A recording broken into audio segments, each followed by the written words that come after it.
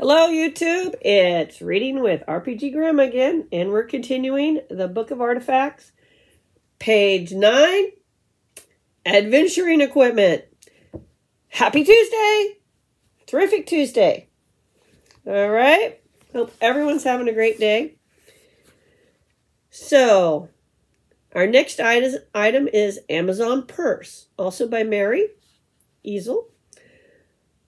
Common plain leather bag on shoulder strap. Oh, and it um, wholesales for five, retails for 25.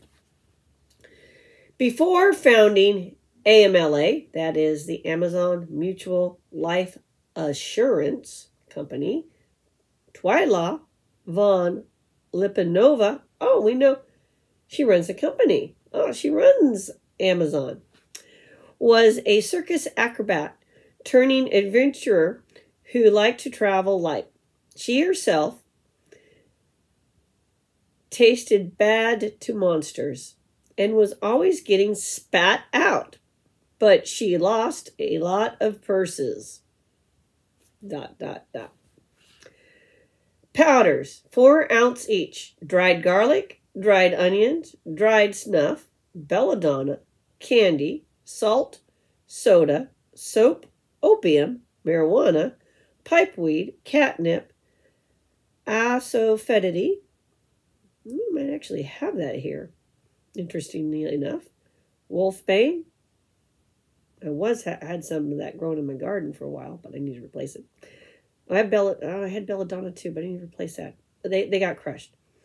Uh, flour, feathers, glue, chicken soup, chewing gum, plaster, insect repellent.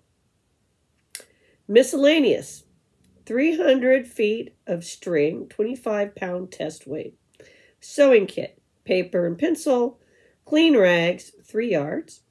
Nails, tacks, 20 feet wire, 50 pound test weight. 10 empty 1 half cup sausage skins. 5 magnets, 0.1 pound each. Whisk, broom, makeup kit, kit so you got pancake makeup, powder, perfume, and lipstick in there. Mouse traps. Three. And they weigh three ounces each.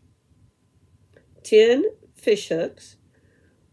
Telescoping bamboo rod, 18 inches, and then goes out to 100 inches, one pound. Three bells, two inches in diameter, stuffed with wax cotton earplugs, four ounces each, one half pound meat laced with opium, one third pound honey laced with opium. Now that is a very interesting purse or kit. It's really a kit. Um, wow but you can see the usefulness of that kit of stuff. Um, so we're going to go with uh, Amla. Probably has these made, um, like they did the backpack. Uh, so which is probably why you can get them at the market.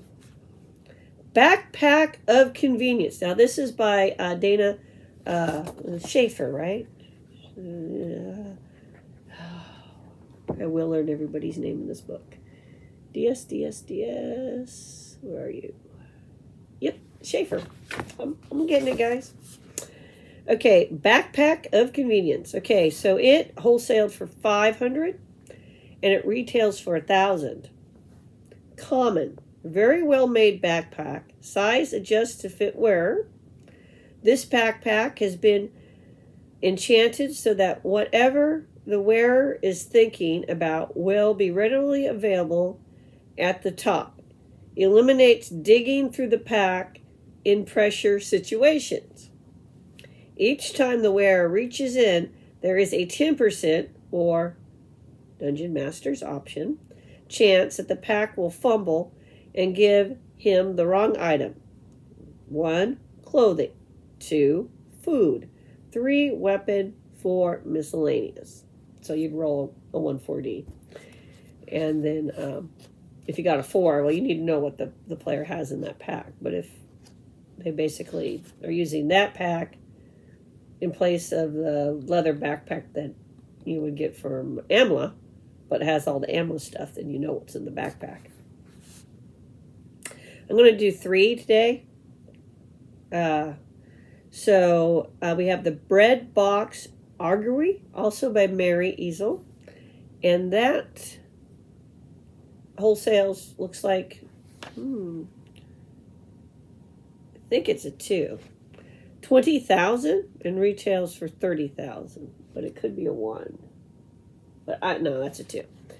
Common lightweight metal box, approximately 16 inches cubical, with a roll type opening, decorated with painted curlicues and a number 20. When an object is placed in this box, the box will truthfully answer 20 yes or no questions about it. It can tell only past or present facts that relate directly to the object. If asked an ineligible question, it will answer animal, vegetable, or mineral, depending on the composition of the object. The box will never answer more than 20 questions about the, the same object.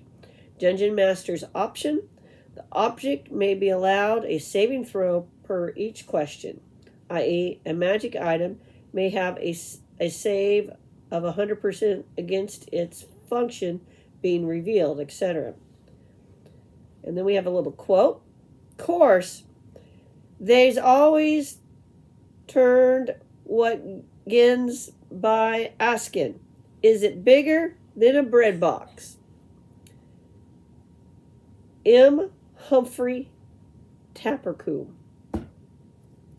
All right, so we'll do the the the next two on Wednesday. Um, but I did want to talk a little bit about page four. And let me find page four here. Here it is.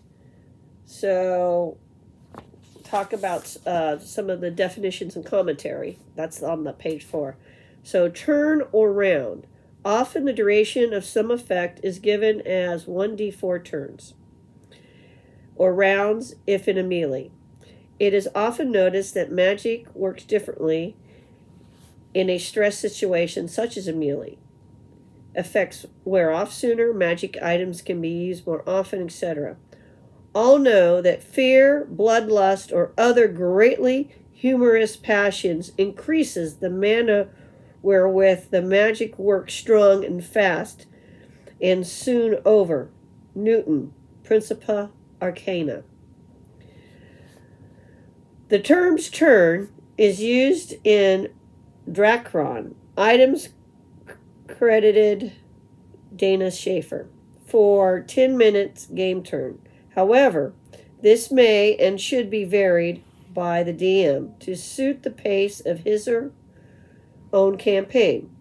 In a routine mapping operation where encounters are few and three game hours may pass in a six American minutes, the turn might be an hour. In an overland trek, it might be a day or week. It usually has something to do with how often the DM goes around the table saying, Okay, what are you doing now? Again, dot, dot, dot. Great DM freedom may be used here as a mild effect will usually last much longer than a more powerful one. And we'll go over more stuff tomorrow. I hope you're enjoying these. Have a great Tuesday. Um, like, comment, share, subscribe. Let me know um, how you're liking this. Um, and keep on rolling one way or the other. Peace out, people. Bye.